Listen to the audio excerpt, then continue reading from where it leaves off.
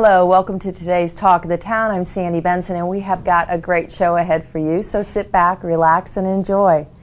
An all time favorite, Grease, the musical, will be showing this December at the Visual and Performing Arts Center at Hilton Head High School.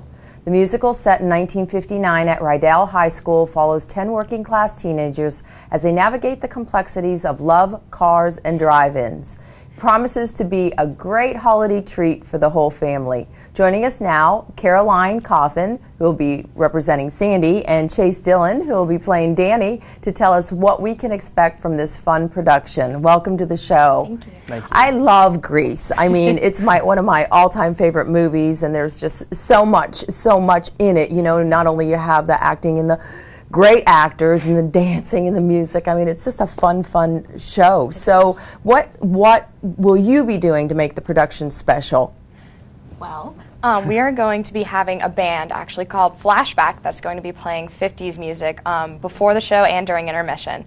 Um, so they'll be up there, and hopefully, we'll have some people dancing in the aisles and everything. Yeah make it really exciting. That's yeah. fun. Yes, That'll be really fun. So, uh, what what do you like? Your role as Sandy. I mean, do you find yourself really portraying the Sandy in the movie, or is it? are you guys doing a different representation of the you know versus the movie? Right. Um, actually, I I found that I'm trying not to be Olivia Newton-John. Um, our director, Mr. Mercer, has not allowed us to watch the movie and told us to be as far from John Travolta and Olivia Newton-John as possible. So, who are you?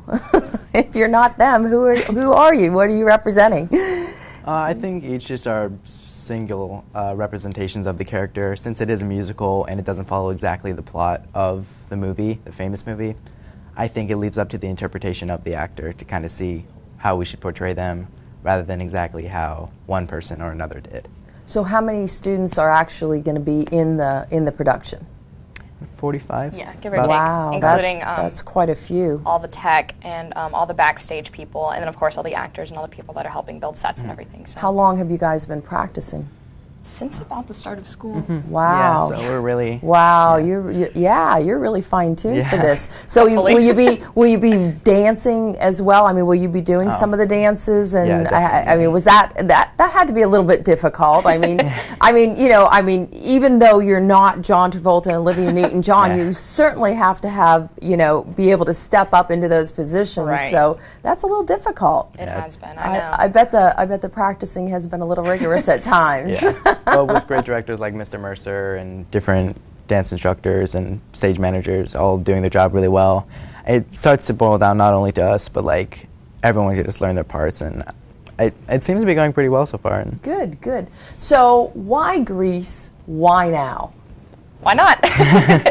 Um, it's just such a fun musical. I know Mr. Mercer had talked about um, doing it towards the end of last year, and we were all really, really excited. And we heard Grease, and we were like, "Yeah, let's do it!" And so it actually all panned out, and we got the contract in and everything. So everybody was really excited when we found out that that was what we were doing. Yeah, that's mm-hmm. fun. So uh, the show is uh, is it has it started? Has it begun? Not yet. Not um, yet. Okay, so tell me about the dates sure. and times and things like that. Um, we open Thursday, December the 13th, um, and run until the 16th with shows on Thursday, Friday, and Saturday night at 7:30, and a Sunday matinee at 2 o'clock. And so, if people are looking to get more information, find out where the ticket sales are, how do they get that information?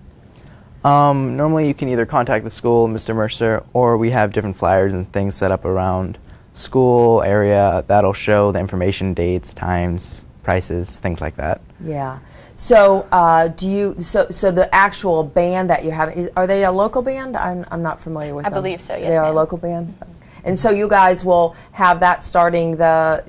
So that'll be at the beginning and right. at the intermission. Yes, ma'am. And and throughout the show, you'll have. Is it the actual? Will that be the band that will be playing during the whole play, or?